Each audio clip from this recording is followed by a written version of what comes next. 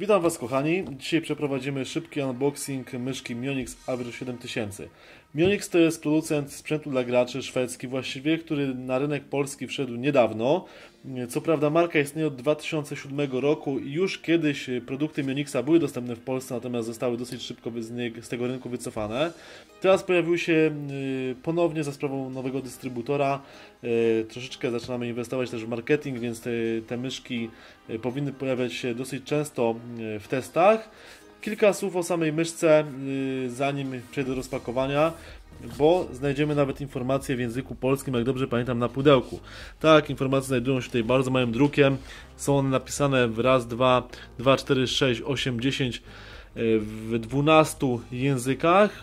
To co jest po polsku to jest tak 7000 dpi czujnik optyczny ADNS 3310 procesor ARM 32 bity 32 MHz, pamięć wewnętrzna 128 kilobitów czy też kilobajtów jest małe, małe KB, regulacja DPI 50 kroków, 9 w pełni programowalnych przycisków, ergonomiczny projekt, gumowa powłoka, dwie kontrolki LED w kolorowych strefach, w dwukolorowych, w dwukolorowych strefach, opcje 16,8 miliona kolorów, efekty świetlne LED.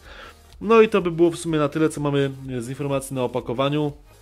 Opakowanie jest dosyć y, fajne, stonowane, czarne, y, z dużym zdjęciem produktu na, na, na froncie i wystarczy je tylko i wyłącznie rozsunąć, aby użyć gryzonia. Nie będę tutaj się rozwodził nad opakowaniem, tutaj mamy oczywiście granulat przeciw y, wilgoci. Myszkę wyjąć najpierw w sposób następujący. Dostajemy jakąś tam yy, kartę gwarancyjną powiedzmy, naklejkę yy, z logiem producenta i samą mysz i to by było na tyle. Nie mamy w zestawie sterowników, ponieważ mysz nie wymaga żeby, żeby poprawnie funkcjonować. Mamy na dole dwa duże ślizgacze, co zresztą widać na, na załączonym obrazku. Górny ślizgacz, dolny ślizgacz, sensor optyczny, kilka informacji, numer seryjny. E, myszka jest dosyć lekka, nie ma co ciekawe możliwości regulacji wagi, natomiast nie powinno to być jakąś e, dużą przeszkodą w użytkowaniu. E, tak jak wcześniej wspomniałem, jest 9 przycisków. Z każdej strony mamy z boku po dwa. Jest to mysz oburęczna, tak samo można, mogą używać jej gracze prawo. Sekundkę złapię ostrość. Praworęczni, jak i leworęczni i bez żadnego problemu. Y, jeżeli chodzi o te strefy podświetlane, podejrzewam, że to będzie tej logo i że to będzie yy, rolka. Zresztą za chwilkę się przekonamy, jak tę myszkę podłączę. Mysz przeznaczona do yy, dwojakiego uchwytu. Możemy tą, tą mysz, że tak powiem, chwycić w sposób następujący lub następujący. Yy, o typach uchwytu sobie poczytajcie w internecie e, jest tych uchwytów co najmniej, sposobów uchwytu co najmniej 3.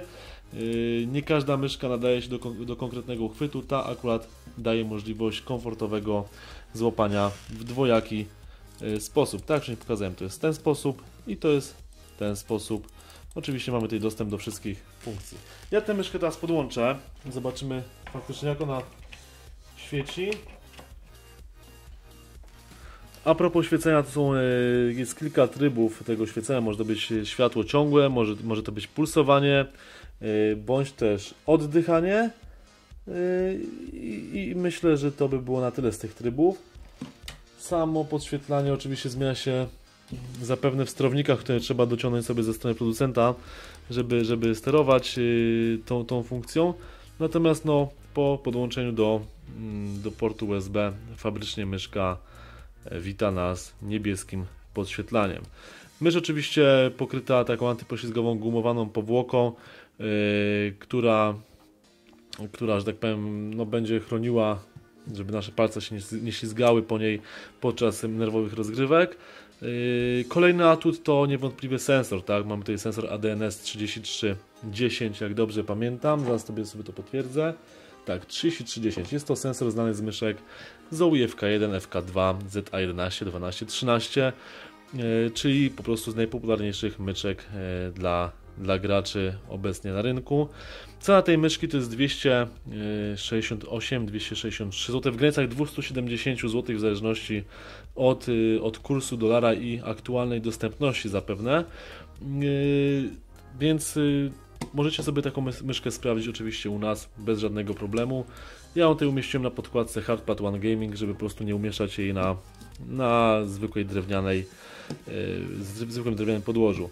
Tak jak wcześniej wspomniałem, myszka idealna dla osób prawo, jak i leworęcznych, także polecam, bo nie, nie, niewiele jest na dobrą sprawę takich myszek na rynku, które taką, taką, taki komfort użytkowania dają.